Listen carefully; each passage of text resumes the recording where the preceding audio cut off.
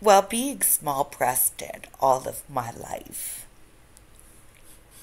found out what size I was when I went to purchase my first brassiere to go under a white wedding dress. I uh, went into a shop, a busy little shop, with my maid of honor, and I was measured. I found out I was a double A.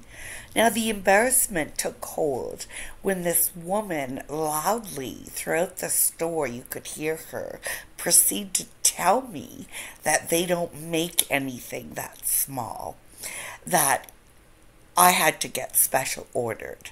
So I looked through this catalog and I found something way overpriced. There was like little chance I was going to get this anyway, this double A bra. So I said to her when she asked for my information, first of all, I gave her my fiance's phone number and I told her my name was Nancy Spungen. Those of you that don't know Nancy Spungen, she is a punk rock pr- princess that died October 12th, 78. Uh, way too much drugs, way too much Sex Pistols, way too much Sid Vicious. She was pretty crazy, anyways. I read her mother's story of uh, how she uh, was as a kid, the Nancy Spungen story.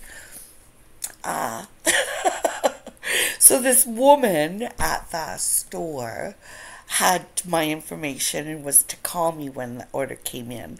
About a month later, the order comes in and my fiance's phone rings and he answers and he's like, hello. And she's like, is Nancy Spungen there, please?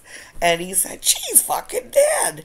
And then she went on to talk about how sorry she was. And of course, he thought it was a crank call. So he was just playing along and had no idea until I told him because I was waiting for him to tell me that he had gotten this call about this, you know, this bosom lady Nancy Spungen with like double D's or whatever those sizes are.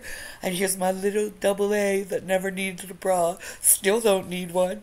But uh yeah, that was my little Oktoberfest story that uh, I like to share around the colonization day